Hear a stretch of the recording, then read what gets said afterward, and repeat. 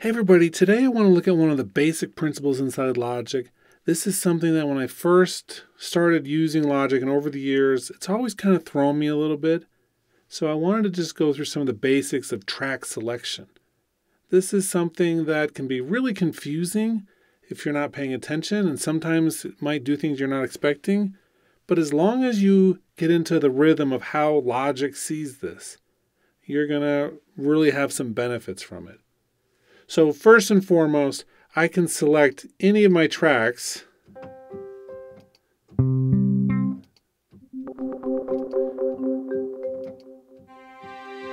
and it's going to switch to that instrument. When a single track is selected, it's called the focus track or the track in focus. And that becomes really useful because it means I can really easily go through and choose the track I want to play. Now, Part of the hard thing about this becomes later on, once we have a bunch of tracks, because it may look like a track is selected, but it may not be the one that's actually in focus. So let's select all of them. And now you'll see on the left, one, one of the tracks, the first one, the, the number area lit up a little brighter. And I can choose different ones from that. Now if I play this, See how even though all of them are selected, only the piano is playing? because it's the one that's in focus.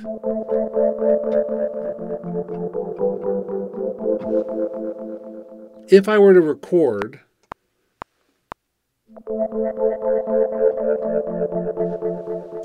push stop, you're going to see that the track that was in focus, even though they're all selected, is the one that was recorded. Now, this is where it gets a little interesting because I can have one track selected, which is the focus track, and I can choose another one just with the record button. It's a little different record button. This one is the bright red one with the white R. This one stays gray and has the red R. So let's delete that and go back and we'll record.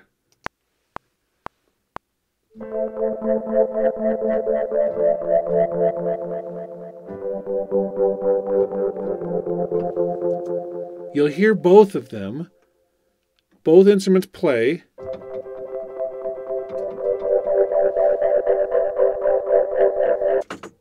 But the piano, because it was the secondary record arm track, gets a, an alias.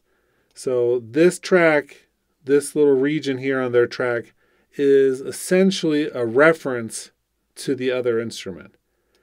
Now, if I come through here, I can move one of my set of files there, and it's going to trigger the same way in the piano.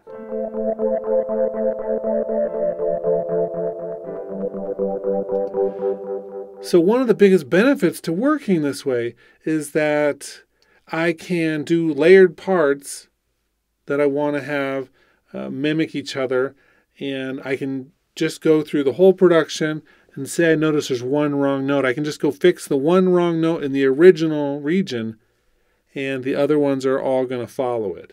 Now, they're not permanent like that if we don't want them to be.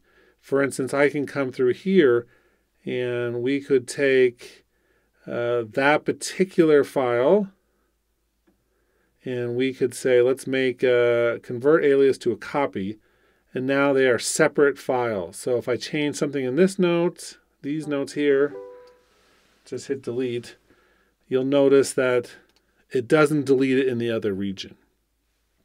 Let's undo that for a second. If I'm with this one and I double click on it, you can see an alias cannot be edited. We can either do a real copy or we can edit the original region.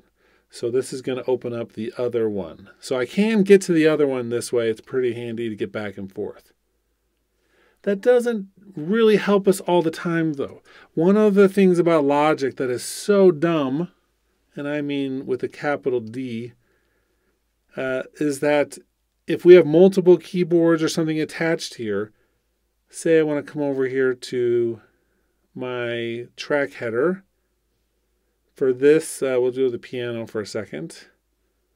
MIDI channel, I can set it between one of the 16 MIDI channels, right? but I can't actually set an input here in my track properties. I can't say, I want this to be this one keyboard, and I want this next track to be a different keyboard. Almost every DAW can do that except Logic.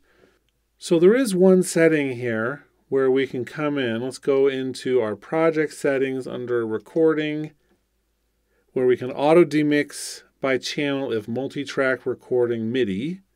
So if I turn that on, it's off by default. Now, you'll see one big difference here. When I'm selecting the different tracks like this,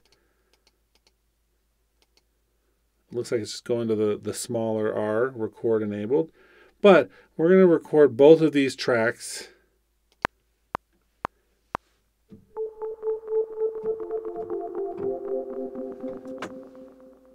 And you'll see right now, we're not getting both of them. This essentially breaks that whole system of creating the aliases.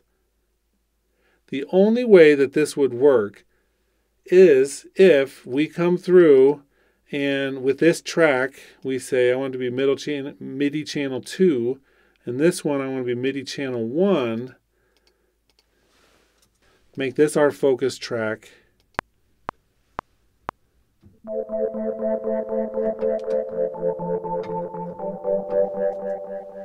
Look what happened. It like records into the focus track, but because it was MIDI channel 1 from my keyboard, it moves it down to the one that had 1 selected. So it's not going to do it on the way in. It's almost like it records it, takes all of the data you have and everything that was assigned to channel 1, it moves to the one channel 1 spot. Anything that was channel 2 gets moved to the 2 spot. And so let me take you down the rabbit hole of something that gets even more complicated when you're in the demix mode and two of them are set to the same channel, like this Abbey Road strings and the Spirit synth. The Spirit one is higher on our channel list, and so it's going to be the one that gets triggered. I'm going to pull this one above it, the Abbey Road. Pull it back down.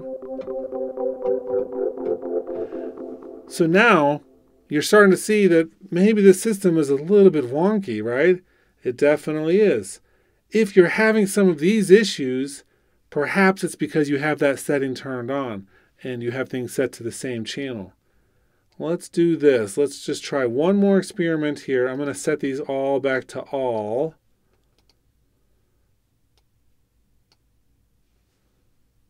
And we have all of those record enabled.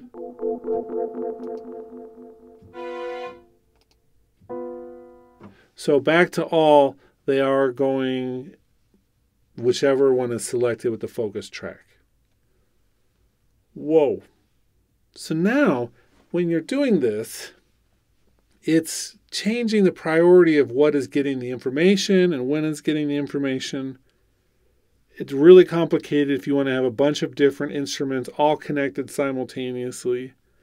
Uh, there are some other things you could do, which get a little bit more complicated in the environment, but there's really no reason to. In reality, uh, if you really want to be able to work like this, I think you just have to get used to knowing which thing is turn on or off with the demix and then keeping track of all your tracks so that they're not duplicating. Now, setting up your external instrument for a MIDI channel can also be really difficult. Right now I've got an old synthesizer connected to this station. It's a Kawai SX240, and I can't choose what MIDI output it is. It's always MIDI output 1. So if I wanted to use it with another keyboard, I would have to set the other one to 2, 3, 4, 5, all the way to 16. And if I had two instruments which couldn't have different outputs selected, it's pretty rare, but it is possible, as you can see from my instrument, then we would be at a, an impasse and I wouldn't be able to use them simultaneously like this. So that's something to think about. So, next time that you have a project open that has a lot of different tracks, and for any reason you come through, you might actually find yourself in one of a few different scenarios that could be a little bit of an issue. For instance, say I'm just going to draw in some regions here. So that way we have an example. Say that I'm editing inside this track right here, and maybe I haven't recorded the piano yet. Um, so I've got this one as my focus track. I've done some editing, and then I actually come up and record arm my grand piano. I think, you know what? Okay, I just clicked on the R just like I would have done in my previous audio workstation. I'm going to push record here. First off, I think, wait, why am I not hearing my piano? And I just recorded MIDI into this other track and nothing went up there. So that is one key to me that I have the auto demix turned on. So I'm going to turn that off, right? So that's one scenario. Another one, let's do this again.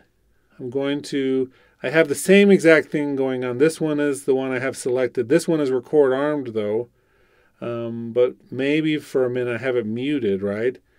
Or something. There's, I've had a scenario a little bit similar to this.